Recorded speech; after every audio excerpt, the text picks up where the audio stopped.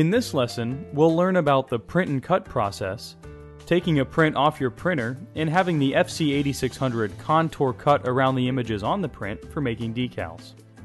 We'll cover how to make a contour cut path, how to use layers effectively for this process, registration marks, why they are needed and how they are used, and then the steps required to load the print onto the cutter. The software that we're going to be using in this lesson is Cutting Master 3 with Adobe Illustrator CS6. While this may not be the software you're using, the process is similar. The first step to the print and cut process is to create the cut path. Keep in mind that the cut line should be created after the design of the image is complete. A cut path can be any shape. For instance, a typical decal may be in the shape of an oval, rectangle, with or without rounded corners, a triangle, or any shape you see fit. In many cases, though, a design is best suited with a cut path that contours the shape. For instance, here we have a design that could use a circle or oval, but as you can see, it has unnecessary white space around the image. This design would be best suited for a cut path that contours the design. In some software applications, such as SignLab, FlexiSign, and our own Graphtec Studio application, creating a cut path that contours the shape is a very simple process. Whatever software you are using, review the manual or instructional video supplied with the software to learn how to create a contour path. In our case, we will be using Adobe Illustrator CS6 to create our cut path so that it contours this design. The first step is to select all the objects in the design. Click on the Object pull-down menu, hover the mouse over Path, and select Offset Path. This little pop-up window appears. Here we can set the distance. We can also set how the corners will look. For instance, we may want to have the corners rounded a little. And click OK. It looks a little messy right now, but we will take care of this in a minute. Click on the Window pull-down menu and make sure Pathfinder is open. Let's click on the first button, Unite. We'll want to switch the colors, so we'll do that now. Change the stroke color to red. This is up to you, but we may want to get rid of the holes inside the new outline. Let's release the compound. Hold the Shift key and click on the outline. Delete the smaller object inside. And there we have it. As mentioned before, any shape can be used as the cut line. However, the only thing we suggest against is using part of the design as your cut path. This can create difficulties.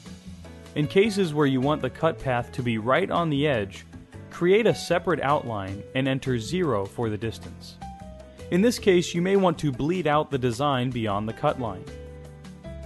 The next step is to separate out the cut path from the rest of the design. This has to be done to avoid printing the cut line. Using the Layers palette can help in this.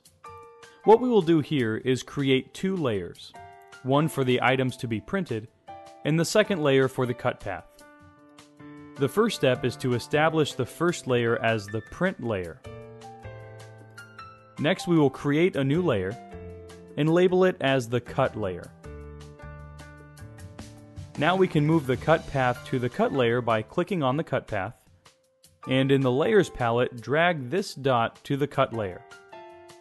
This will place selected objects to that layer, in this case, our cut path. To check this, we can turn off the print layer, and this should leave the cut path.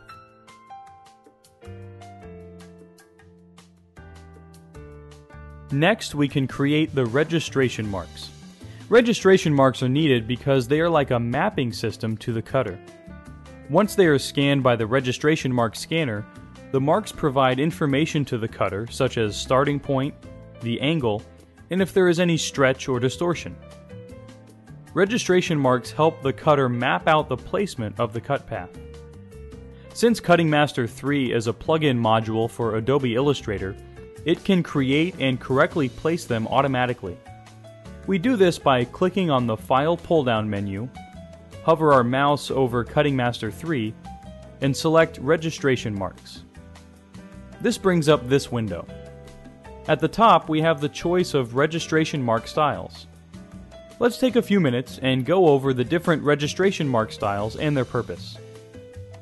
There are essentially two main types of registration marks, Type 1 and Type 2.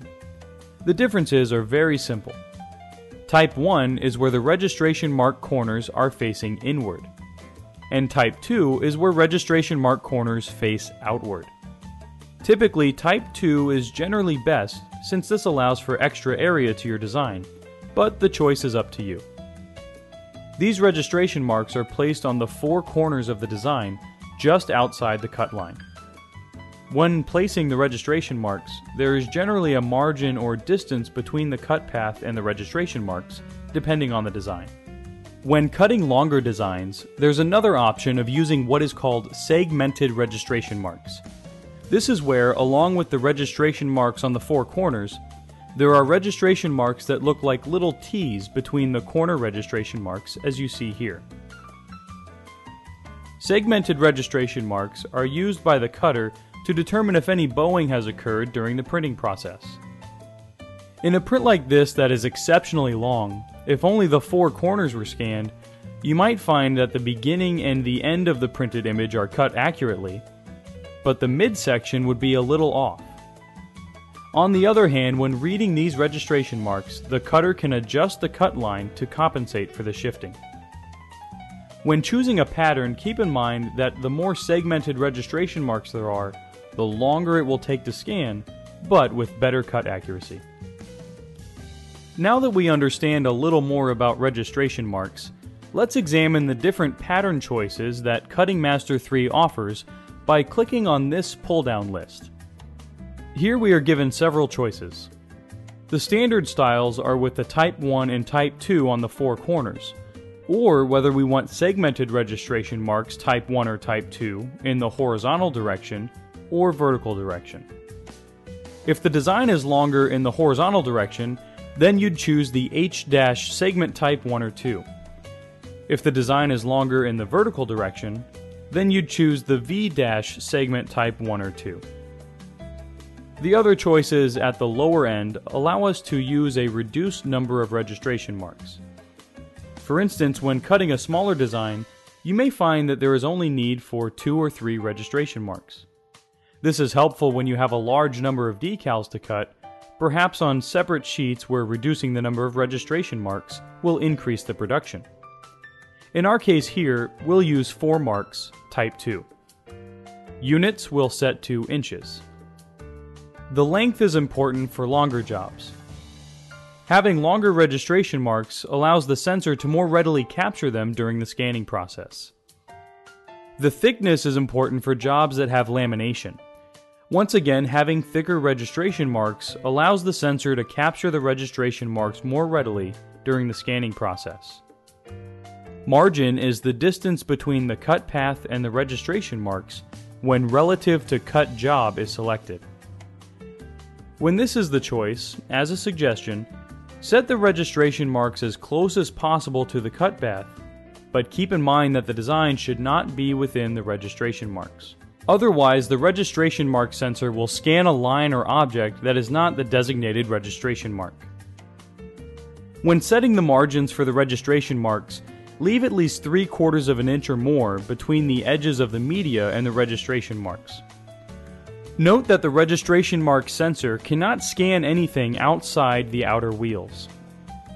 Also note that when removing an individual sheet from the printer, leave at least 3 inches on the back end of the sheet and at least 1 inch on the front end. When relative to media is selected, the margin then becomes the distance between the media's edge and the registration marks. A line document with registration marks will do just that. It will base the positioning of the registration marks with the document's origin. Once all the settings are to our liking, click Apply. This will place the registration marks on the drawing. Clicking Apply will allow you to view how the registration marks will look after any changes are made. This is convenient since you can see how the registration marks will lay out prior to clicking OK to finalize them. Then, once the registration marks are to your liking, click OK. Let's press Ctrl Z or Command Z on the Mac and start over. There is another option that will allow you to place the registration marks where you would like to have them. Let's draw a rectangle. We will draw it large enough to surround the design, but close enough so there is not wasted space. When drawing the rectangle, remember to leave enough margin between the edge of the media and the registration marks so that the wheels don't overlap them. As you may notice, we're using guides for this purpose. What we will do next is have Cutting Master 3 create registration marks based on the corners of the rectangle. To do this, while the rectangle is selected, click on the File pull-down menu, hover over Cutting Master 3, and then click on Registration Marks. We will keep everything the same, except we will click on the Convert Rectangle checkmark. Now we can click OK.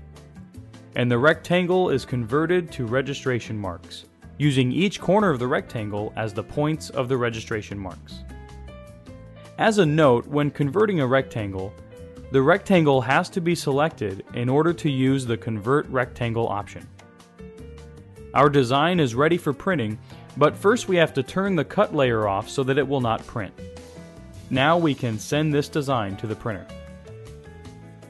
Prior to sending the design to Cutting Master 3, we'll want to make sure we turn the cut layer back on. When removing the printed sheet from the printer, once the design has been printed, Orienting and aligning the sheet is somewhat critical, especially if it is a long print. The best way to load the sheet is to first get the orientation of how the print is to be loaded. Click on the File pull-down menu, hover over Cutting Master 3, and click Send to Cutting Master 3. Click on the Cutter's icon button. Up in the left-hand corner of the workspace, an icon shows the direction of the cut. This indicates that the bottom of the workspace is the front edge. So when placing the print in the cutter, that part of the design's edge is placed toward the front of the cutter. Now we can go back to Cutting Master 3. Next, turn off the print layer so that it will not cut. To do this, click on the Configure Cut Job panel, which is this icon button here click on the By Layer button at the top. Notice below, these are the two layers that we established. In this case, we want to disable the print layer. This removes the object set for printing. Now we can send the job by clicking on the Send button. Once the job is sent, the sensor will start sensing the first mark. If for some reason it cannot find it, it will go searching for it. Once it finds it, it will continue on to the second mark, and so forth. Since it knows the location of the other registration marks, it doesn't need to do a search pattern as it did on the first registration mark. Once all the marks are found, it will start to cut the media following the adjusted cut path.